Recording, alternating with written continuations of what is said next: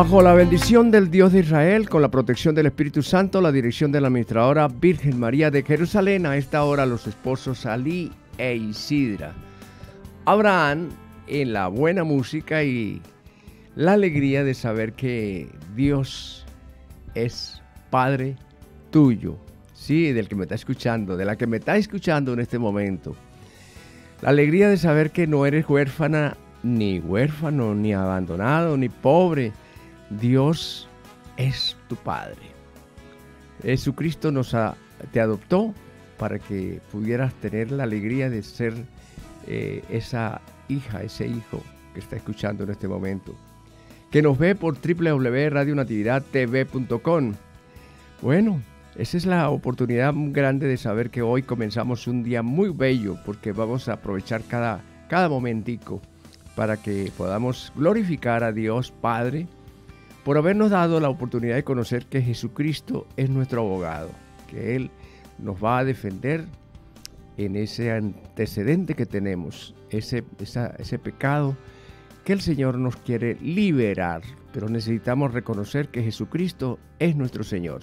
Señora Isidra, pase usted adelante. queridos radiantes de este programa de Fiesta en el Cielo y Fiesta en el Cielo cuando un pecador se arrepiente, un saludo muy cordial para cada uno de ustedes y la alegría de saber que eh, eh, pudimos descansar, dormir, eh, que es rico de verdad, y levantarnos cada uno a la misión que el Señor nos ha colocado en los diferentes lugares y, y, momentos y oportunidades las cuales el Señor nos da, para que nosotros a través de lo que hacemos sirvamos al Señor y sirvamos a cada uno de nuestros hermanos. Así que les saludamos muy cordialmente y esperamos que este, esta horita de programa sea, o esta hora de programa, eh, sea de gran bendición para cada uno de ustedes, porque lo va a ser para nosotros. Uno sabe que dando recibe. Así que sean todos ustedes bienvenidos al programa de hoy.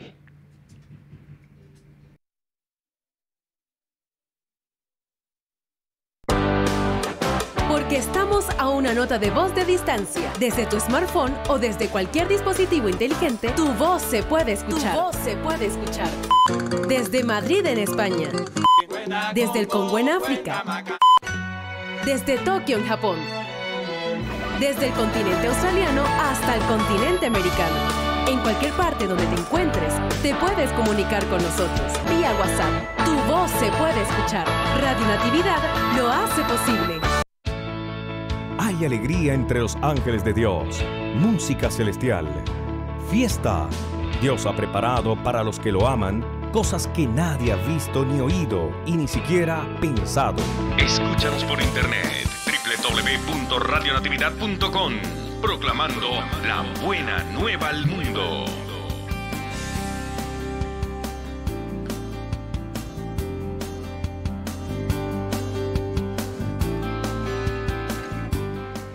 Bendeciré al Señor a todas horas. No cesará mi boca de alabarlo.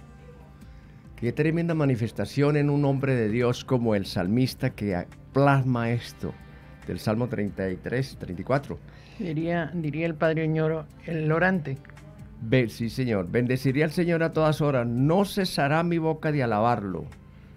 Por eso tenemos que buscar la manera de liberarnos de los pensamientos, porque esos pensamientos no son pensamientos buenos, porque ¿qué teníamos nosotros antes? Pues pecado, y de eso pues tenemos bastante en, la mente, los pensamientos, eh, los, miedos, los temores, las angustias, los interrogantes, ¿por qué a mí?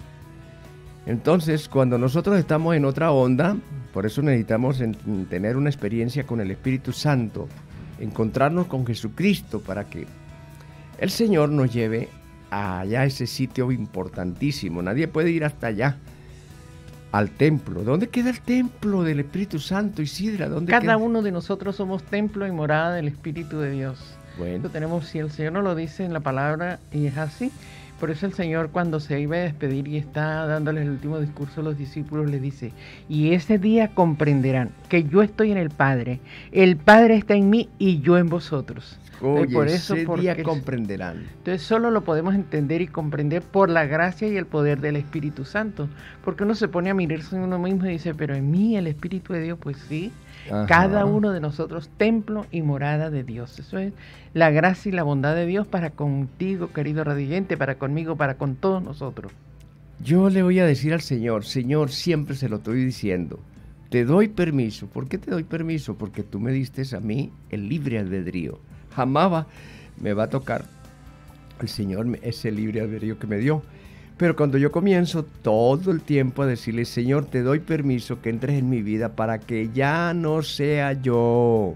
Oigan, ¿para qué? Para que ya no sea yo, sino tú, Señor Jesucristo, en mí. Y el Señor Jesús nos da esa experiencia que San Pablo, que conocía tanto del Antiguo Testamento, que sabía tanto, que podía decir, eh, yo soy también, ¿qué? Eh, dice San Pablo, ellos presumen de que son hebreos, yo también lo soy, de que son israelitas, yo también lo soy, de que son descendientes, descendientes de Abraham, yo también lo soy, de que sirven a Cristo, es una locura decirlo, pero yo les sirvo más. Yo les gano en fatigas, cárceles, les gano por mucho en azotes y en peligros de muerte. Ah, este sí sabía servirle al Señor con todo eso que, que tenía. ¿Y qué pasa cuando se tiene un encuentro con Jesucristo? Nuestra vida inmediatamente es transformada porque Él nos va a llevar a tener la experiencia con, el ayudador, el consolador, el intérprete, el que me convence de pecado, de justicia y de juicio, porque si no me voy a creer muy bueno. Sí, sí, sí, sí. De verdad que necesitamos tener un corazón manso y humilde y, con fe, porque saber que si el Señor nos habla a cada uno de nosotros a través de su palabra, si el Señor lo dice, Él lo hace. Entonces, por lo tanto, nosotros tenemos que sabernos que somos templo y morada de Dios, que en nosotros habita Dios y que debemos dejarlo actuar en cada una de nuestras vidas. Me encanta y siempre lo repito aquí en este programa en lo que dice el, eh, el, cardenal Canta la Mesa, ¿verdad? Dice este, el Canta la Mesa, Reinero Canta la Mesa, que el Espíritu Santo en cada uno de nosotros lo tenemos como un preso de lujo. O está, porque Él está, lo ha prometido y está en nosotros. Pero nosotros, que esa parte sí nos corresponde, no lo dejamos actuar. Tenemos que dejar que el Espíritu Santo actúe en cada una de nuestras vidas, que sea Él el que guíe y conduzca cada uno de nuestros pasos, que sea Él el que eh, por eso se llama el ayudador, ¿verdad? Que viene a ayudarnos en cada circunstancia, en cada momento de verdad que empecemos a experimentar e invocar la gracia del Espíritu Santo para cada una de las cosas que tenemos y vamos a ver siempre, siempre el obrar del Espíritu Santo en cada una de nuestra vida, porque Él no está lejos de nosotros, recordemos que Él está tan cerca de nosotros que está dentro de nosotros. Oiga Isidra, ¿tú sabes lo que significa que San Pablo tuvo cinco veces azotado los 39 azotes, los 39 azotes que recibió el Señor. Cinco veces me han dado los judíos los 39 azotes. Otras veces me han azotado con varas. Una vez me, me apedrearon. He, naufragado tres veces. Me he pasado un día y una noche perdido en el mar. He viajado sin descanso. Me he visto en peligros en los ríos, entre los ladrones, peligros por parte de los de los mi raza, por parte de los paganos, peligros en las ciudades, y en despoblado, en el mar, y entre falsos hermanos, falsos hermanos. Hm. He andado muerte de can he andado he andado muerto de cansancio. He pasado muchas noches sin dormir, con hambre, sed, muchos días sin comer, con frío y sin ropa. Además de estas y otras cosas, pesa sobre mí diariamente la preocupación por todas las comunidades cristianas. Quien se enferma en ellas sin que yo me enferme. sin, sin que yo no me enferme. Quien cae en pecado sin que yo no me consuma de dolor. Si se trata de presumir, presumiré de mis debilidades. Entonces, como dices tú, Isidra, o dices tú no, sino que es así el, el, hilo de la liturgia, el, hilo conductor. de la liturgia. Ajá. Bendeciré el Señor a cómo?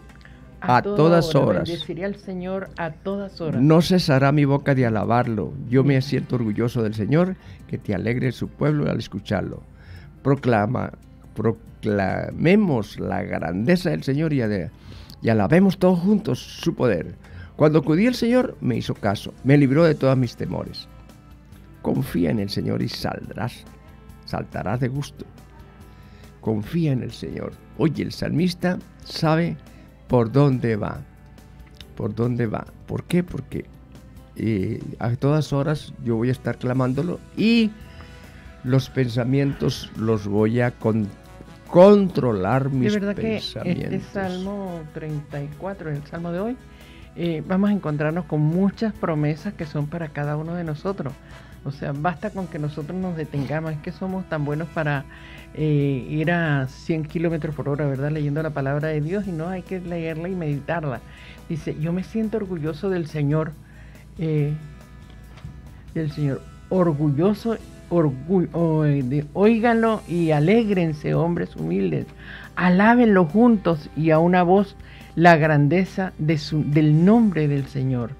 Alabemos juntos y a una voz la grandeza del Señor. Recurrí al Señor y Él me contestó y me libró de todos mis temores. Los que miran al Señor quedan radiantes de alegría y jamás se verán defraudados. Este pobre gritó al Señor y lo oyó y lo libró de todas sus angustias. El ángel del Señor protege y salva a los que honran al Señor. Prueben y vean que el Señor es bueno. Feliz el hombre que en Él confía. Prueben y vean qué bueno es el Señor. Prueben y vean qué bueno es que el Señor es bueno. Feliz el hombre que en Él confía. Honren al Señor los consagrados a Él, pues nada faltará a los que lo honran. Nada faltará a los que lo honran. De verdad que son promesas que si el Señor lo dice, el Señor lo promete, Él lo hace. Porque el Señor lo que dice lo hace, lo que dice lo ejecuta. Entonces por eso nuestra confianza plena, plena, realmente puesta en el Señor porque de verdad que Dios nunca nos va a fallar, Dios nunca nos va a dejar ni nos va a abandonar, porque esa ha sido su promesa. Yo nunca los dejaré ni los abandonaré. O sea, el Señor siempre está con nosotros, por eso qué bueno que podamos depositar toda nuestra fe, nuestra confianza, nuestra esperanza y todo cuanto somos y tenemos en las manos del Señor, porque sabemos que si estamos en las manos del Señor, nada, nada nos puede suceder si, y si algo nos sucede es porque ha sido la voluntad del Señor, porque eso trae un propósito. Detrás de eso viene un propósito bien grande y muy especial del Señor. Vamos a una pausa y ya regresamos.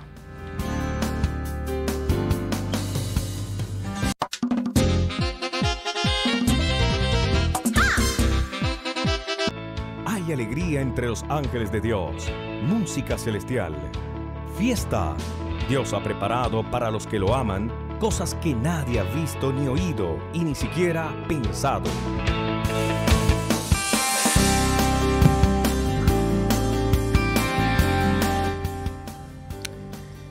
Podríamos nosotros entender cuál es, la seguridad de encontrarse con Jesucristo. Un hombre como San Pablo, mm, que está mm, eh, eh, en esa onda del conocimiento, de jactarse de ser de la escuela de Gamaliel y de todas esas experiencias que el Señor le había dado en el conocimiento del Antiguo Testamento, pero no tenía el encuentro con Él. en la plenitud de los tiempos, cuando llegó a la plenitud de los tiempos, todavía no sabía mm, que era la plenitud de los tiempos, porque no tenía la revelación ¿Cuándo tiene la revelación? Cuando se encuentra con Jesucristo. ¿Y cuándo tiene, cuándo, tiene esa revelación? Cuando el Espíritu Santo le da la revelación, porque el Espíritu Santo viene para darnos a nosotros esa mm, nueva manera de pensar cuando tenemos a Jesucristo. Entonces tenemos una experiencia con la tercera persona, porque como es mm, el, el texto de la promesa del Señor, cuando vengan el Espíritu Santo, ustedes comprenderán. Ese día comprenderán que yo estoy en el Padre. El Padre está en mí y yo en vosotros. Cuando venga el Espíritu Santo, ustedes comprenderán. Ustedes comprenderán, porque antes no lo pueden comprender, porque si no hay revelación, ¿cómo lo van a comprender? San Pablo, con todo lo que sabía, no podía comprender. Entonces, ¿qué es lo que quiere el Señor mm, decirnos hoy a usted, a mí, a todos nosotros? Cuando venga el Espíritu Santo, cuando usted tenga la experiencia con Jesucristo, entonces vendrá el Espíritu Santo. Entonces ustedes comprenderán que el Padre está en mí. O sea, ese día Que comprenderán que, que yo le- estoy en el Padre, el Padre está en mí y yo en vosotros. y yo en vosotros. Entonces es cuando vamos a tener esa experiencia, experiencia trinitaria, el Padre, el Hijo y el Espíritu Santo, que son lo que nosotros necesitamos para ir más, más allá y para poder eh, renovar nuestra manera de pensar. Por eso San Pablo escribe con esa autoridad, no sigan la corriente del mundo en que vivimos, no la sigan, eso no les sirve para nada. Si usted quiere ser un instrumento de Dios, no puede seguir la corriente del mundo que vivimos, estar en las dos bandos. Ay, estando mandándole a unos chistes de, de- de- de- de- del mundo. No, señor, yo no, yo borro de una vez eso. ¿Por qué? Porque eso no, eso me entretiene y eso me, Le ensucia la mente me a uno, de ensucia la mente. Entonces, ¿qué necesito? Inmediatamente borrar eso. ¿Por qué? Porque necesito estar en esa experiencia de poder entrar en la dimensión trinitaria y inmediatamente protegerme para que no haya para que yo no vaya a contristar al Espíritu Santo. ¿Cómo contristo al Espíritu Santo? Cuando sale de mi boca en un momento de rabia una palabra vulgar. Uy, Dios mío, Señor. Eso contrista al espíritu. Después usted dice, pero ¿por qué si yo, ay, ayer tenía tanta alegría y hoy estoy como por que-". eso el Señor a través del profeta Jeremías nos dice, doble falta ha cometido mi pueblo, me han abandonado a mí que soy manantial de aguas vivas y se han cavado cisternas agrietadas que no retienen el agua. Por eso hay que cuidarse justamente de eso, de nada que nada eh, venga a perturbar lo que el Señor ha colocado en cada uno de nuestros corazones, en nuestra mente, en nuestro ser. Vivir para Dios, eso es lo que nosotros tenemos que hacer, vivir para Dios. O sea, estar en el, mundo porque estamos en el mundo, pero no ser del mundo. Hay una gran diferencia cuando uno está como, como en, las do- en dos aguas, no. Es estar en el mundo, pero sin ser del mundo. Eso tenemos que tenerlo con muchísima claridad. Doble falta ha cometido mi pueblo, que me han abandonado a mí, que soy manantial de agua viva, y se han cavado cisternas agrietadas que no retienen el agua. Entonces, fíjense ustedes, ay, lo delicados que somos.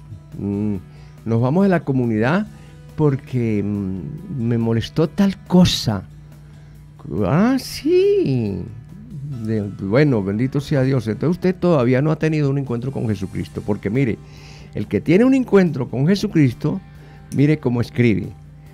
De la segunda carta del apóstol San Pablo a los Corintios, capítulo 11. Ya que otros presumen de, cosas humanas, yo también voy a presumir de ellas. Porque de cualquier cosa que alguien presume, aunque sea una insensatez, lo que digo también yo puedo presumir. Ellos presumen de que son hebreos. Yo también lo soy. De que son israelitas. Yo también lo soy. De que son descendientes de Abraham. Yo también lo soy. De que sirven a Cristo. Eso es una locura decirlo, pero yo les los sirvo más. Yo les gano en fatigas, en cárceles. Le gano por mucho en azotes, en peligros de muerte. Oigan, cinco veces me han dado los judíos los 39 azotes. ¿Cuántas veces? Los 39. Isidra, cinco veces. ¿Tú sabes lo que significa ser azotado y pensar que en esas espaldas, así mismo azotaron al Dios, a Dios mismo? Uy, no, no, eso no lo podemos ni siquiera imaginar porque eh, a Jesucristo lo azotaron atado a la columna, un juicio corrupto. Uy, Señor Jesús. Cinco veces me han dado los judíos los 39 azotes. ¿Cuántas veces? Los 39. Cinco veces. Entonces 5 por 39, ¿cuánto sería? Un montón. Ah, bueno, como 200 latigazos. Otras veces me han azotado con varas. ¡Ay! ¿Con qué? Con varas. ¡Ay, Dios mío, Señor! Una vez me apedrearon. He naufragado tres veces y me han pasado un día y, me he pasado un día y una noche perdido en el mar. He viajado sin descanso. Me he visto en peligro en los ríos y entre ladrones. peligros por parte de, los, de mi raza, por parte de los paganos, peligros en las ciudades, en despoblado, en el mar, entre falsos hermanos, entre falsos hermanos. He andado, he andado muerto de cansancio. He pasado muchas veces noches sin dormir, con hambre, con sed, muchos días sin comer, con frío, sin ropa. Además de estas otras cosas, pesa sobre mí diariamente la preocupación por todas las comunidades cristianas. Quien se enferma en ellas sin que yo no me enferme. ¿Quién cae en pecado sin que ya no me consuma de dolor? Si se trata de presumir, presumiré de mis debilidades. Palabra de Dios. Te alabamos, Señor. Oye, pero esto sí está bien para los que... Para cada uno de nosotros, porque a veces porque nos quejamos por cualquier cosita, porque me miraron mal en la comunidad, porque no tomaron en cuenta lo que yo quería decir. No juegue, porque les molestó lo que, lo que yo quería imponer, porque mm, a veces queremos imponer cosas y, sin haber orado, sin haber nada, sino cosas para, porque me, me parecen que son buenas. Pero entonces yo necesito tener un criterio, criterio como el de San Pablo. ¿Ah? Nada. Lo hace cambiar de mentalidad. Sigue adelante. Y necesito la comunidad, porque con todo lo, sin comunidad no se puede, no se puede. Necesitamos la comunidad. Por eso es importante tener un encuentro personal con el Señor. ¿Qué le pasó a San Pablo que le transformó su vida y, lo dejó de, de uno, o sea, a, volverse de verdad, verdad Señor? Bueno, ese encuentro personal que tuvo con el Señor Después el Señor le indica que vaya para que oren por él, oran por él y hay todo un cambio, una transformación de su vida. Deja su manera antigua de vivir para empezar a vivir la vida que el Señor le enseña. Y eso justamente se debe a, que, a ese encuentro personal con el Señor. Por eso busquemos encontrarnos con el Señor. El Señor se deja encontrar por los que lo buscan. Busquemos al Señor y eso nos va a traer primero una gran satisfacción y segundo, la alegría de hacer la voluntad que es la voluntad del Señor. Podremos saber lo que es bueno, perfecto y agradable a Dios. ¿Y, cómo, ¿Y cómo voy a hacer eso? Como el salmista. Bendeciré al Señor a todas horas. ¿Cómo? Bendeciré al Señor a todas horas. No cesará mi boca de alabarlo. No cesará mi boca de alabarlo. Ay, puede entrar un horrible pensamiento a su mente. No, porque el salmista, ¿qué, ¿cuál es la experiencia? El Señor libra al justo de todas sus angustias. ¿Y cómo va a librarse de todas las angustias si nunca hace una oración, ni nunca tiene un ratico para estar frente al Santísimo? Dios mío, Señor Jesús, o nunca puede entrar al cuarto. Entra a tu cuarto, cierra la puerta, ora al Padre que está en lo secreto. El Padre que está en lo secreto te premiará en público. Vamos a una ah. pausa musical y volvemos. Ya volvemos.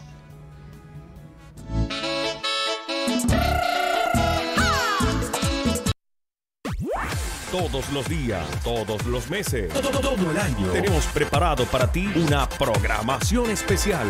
Natividad. Natividad.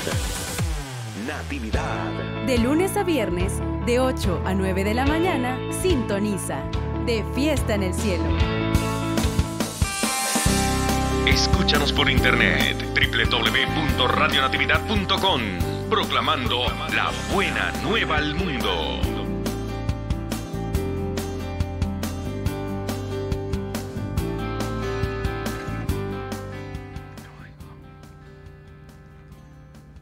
Bueno, de verdad que nosotros estamos, mm, ¿cómo poder nosotros vencer el peligro que tienes de echar para atrás. ¿Cómo es eso? Sí, Señor, porque si se deja engañar de su de la información que recibe del mal, porque la mente la tiene llena de gusanos, Dios mío, Señor Jesús, cuando uno comienza a tener informaciones negativas, eso le hace mucho daño. Pero ¿cómo lo va a evitar? El salmista tiene una experiencia, San Pablo tiene otra experiencia. Dios mío, ¿cuántas personas tienen vivencias, cuántos santos tienen vivencias de lo que el Señor hace. Bendeciré al Señor, primero el, título del Salmo, el Señor libra al justo de todas sus angustias. Ahora, ¿cómo va a librar al justo de todas sus angustias? ¿Cómo va a ser eso? Bendeciré al Señor a todas horas, no cesará mi boca de alabarlo. ¿Cómo? Por eso necesitamos comprender. Con los labios se proclama para salvación y con el corazón se cree para justificación. Repita conmigo, no daña lo que entra, sino lo que sale de su boca. Esto no se va a poder, esto es muy difícil. Sí, de verdad que siempre le ponemos al Señor como como, sí, tacha, o sea, no sé qué, pero que no nos abandonamos de verdad en las manos del Señor. Si nos abandonamos en las manos de Él con toda seguridad, aceptamos lo que el Señor nos, nos llama, nos, nos pide y, y, dejamos, nos abandonamos en las manos de Él y vamos a lograr lo que nos estamos proponiendo. Por eso, un esclavo, atención, atención, atención, un esclavo no puede dar libertad a otro esclavo. Ah, eso es fácil fácil. ¿Por qué? Porque tú estás esclava o esclavo del miedo. ¿Cómo va a, tener éxito en su oración? ¿Por qué? Porque está esclava o esclavo del miedo. Un ciego no puede guiar a otro ciego. Entonces, ¿el salmista podrá hacer algo aquí? Claro que sí, mire. El Señor libra al justo de todas sus angustias. ¿Por qué? Plasma eso, porque ya tuvo la experiencia de la oración constante. Bendeciré al Señor a cómo? A todas horas. No cesará mi boca de alabarlo. Yo me siento orgulloso del Señor, que se alegre su pueblo al escucharlo. Proclamemos la grandeza del Señor y alabemos todos juntos su poder. Cuando acudí al Señor, me hizo caso. Me libró de todos mis temores. ¿Cómo? Me libró de todos mis temores. Entonces, si ya tú no tienes temor, tú puedes interceder por una persona y hacerla libre. Y entonces, porque entonces ya va a ser libre para que usted sea, haga de libertad a otra, a otro ser querido. ¿Cómo? Con los labios se proclama para salvación y con el corazón se cree para justificación. Entonces, ¿qué voy a hacer yo? Cuando acudí al Señor me hizo caso y me libró de todos mis temores confía en el Señor. Ah, mire esto lo que dice, esto no lo dice porque lo aprendió, esto lo dice porque lo vivió. Es muy diferente a vivirlo, a aprenderlo de una lección. Confía en el Señor, dice el salmista, y saltarás de gusto. ¿Cómo? Saltará de gusto. Jamás te sentirás decepcionada o decepcionado, porque el Señor escucha el clamor de los pobres y los libra de todas sus angustias. El Señor libra al justo de todas sus angustias. El Señor libra del, del libra del, al justo de todas, las, de todas sus angustias. Entonces, ¿qué tengo yo que hacer? Dios mío, Señor, ir a la celebración de la Eucaristía para escuchar, para escuchar a todas esas experiencias que el Señor a través de la palabra me va a dar. ¿Y cómo voy a hacer? Pues estar alerta, no perder tiempo, no confundirme, ir con reverencia a escuchar al Señor, a estar frente al Señor. Y habrá una manifestación tremenda. ¿Sí? Bueno, entonces, ¿qué, qué hacemos nosotros, Isidra? Fíjese bien, cómo nosotros podemos... Eh, ¿Qué nos dice el Evangelio? ¿Ah? ¿Cómo dice el Evangelio? Mire, dice así, no acumulen ustedes tesoros en la tierra, donde la polilla y el moho los destruyen, donde los ladrones perforan las paredes y, solo, y se los roban. Más bien, acumulen tesoros en el cielo, donde ni la polilla ni el moho los destruyen, ni hay ladrones que perforen las paredes y, se lo roben, porque donde está tu tesoro, ahí también está su corazón. Tus ojos son la luz de, tu cuerpo, de manera que tú, que, si tus ojos están eh, sanos, todo tu cuerpo está sano. Todo tu cuerpo está sano. Yo, ¿por qué no me puse los lentes? Tus ojos son la luz de, tu cuerpo, de manera que si tus ojos están sanos, todo tu cuerpo tendrá luz. Pero si tus ojos están enfermos, todo tu cuerpo tendrá oscuridad. Y si lo que son, si lo que en ti debería ser luz, no es más que oscuridad, qué negra no será tu propia oscuridad. Qué negra no será tu propia oscuridad. Uy, Dios mío, Señor. Oiga, el, hilo conductor de las lecturas de hoy, qué lindo para poder nosotros estar en esa confianza de que nosotros no podemos poner nuestro corazón en ningún tesoro. Entonces, ¿qué? Isidra Méndez. Pues estamos casi para irnos, son las 8 y 56. De verdad que el tiempo se va tan corto, tan corto. ¿Cómo será cuando estemos en el cielo? O sea, allá no hay tiempo, ¿no? Ni lugar para nada. Solo alabando y bendiciendo al Señor. De verdad que ha sido una gran bendición este poder estar como cada mañana eh, animándonos unos y otros en la fe, porque la fe nos viene por oír y oír la palabra de Dios. La fe nos viene por el ánimo entre unos y otros. Por eso el Señor nos dice, hay una pregunta que me encanta que dice el Señor, cuando el Hijo del Hombre venga, ¿encontrará fe en la tierra? Encontrará fe en la tierra. Entonces por eso tenemos que alimentar nuestra fe para que cuando venga el Señor haya fe en la tierra y por eso el Señor nos da eh, misiones como esta, ¿verdad? Porque para nosotros Radio Natividad la hemos asumido para nosotros como la gran misión que el Señor nos ha colocado. Si quiere, si quiere saber cómo es la fe, pregúntele a San Pablo. Cinco veces me han dado los judíos los 39 azotes. Uf. Otras veces me han azotado con varas. Una vez me han, me han apedreado. He naufragado tres veces. Me he pasado un día y una noche perdido en el mar. He viajado sin descanso. Me han visto en peligro en los ríos, entre los ladrones. Peligros por parte de los de mi raza, por parte de los paganos peligro en las ciudades y en despoblado, en el mar y entre falsos, falsos hermanos. He andado muerto de cansancio, he pasado muchas noches sin dormir con hambre y sed, muchos días sin comer, con frío y sin ropa. Además de otras, otras cosas, pesa sobre mí diariamente la preocupación por todas las comunidades cristianas. Claro, porque cualquier cosita a una comunidad quiere ya apartarse y no quiere volver a trabajar. ¿Por qué? Porque, porque no, quieren sacrificio. Entonces, ¿por qué? Porque no están como el salmista. Bendeciré al Señor a todas horas. No cesará mi boca de alabarlo. Ahí está. Ahí está el, vamos a decirle, quiere el remedio, aquí lo tiene. Para que luche con esa mente que la tiene llena de miedo, de temor, de angustia. Eso no se va a poder, eso mi hijo se va a perder, eso mi nieto se va a perder. No, Señor, sigue orando con la confianza de que Dios le va a dar, que usted va a ser el canal de bendición para decir, proclamo el poder de la sangre de Cristo Jesús sobre mí, primeramente, porque yo soy el esclavo del miedo. Entonces tengo que salir de la esclavitud para dar para dar, eh, si yo no, si soy esclavo del miedo, pues yo no puedo darle libertad a otro esclavo, porque los dos son esclavos. Los ciegos, ningún ciego puede guiar a otro ciego, porque los dos se van al abismo.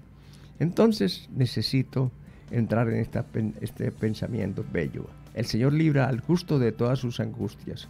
Bendeciré al Señor a todas horas, no cesará mi boca de alabarlo no cesará mi boca de alabarlo. Entonces, Isidra Méndez, ¿qué hacemos?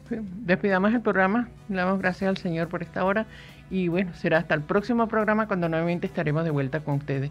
Que el Señor nos bendiga. Hemos estado bajo la bendición del Dios de Israel con la protección del Espíritu Santo, la dirección de la administradora Virgen María de Jerusalén. A esta hora los esposos Alí e Isidra Abraham en buena música. Nos vamos escuchando a Radio Natividad.